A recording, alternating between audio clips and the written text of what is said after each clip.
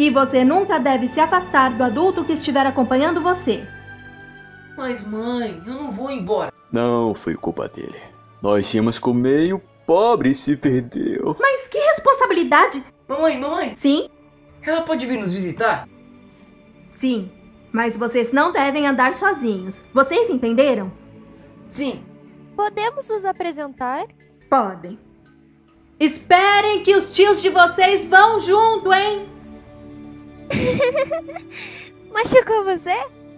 Claro, não é uma montanha de folhas macias e almofadas.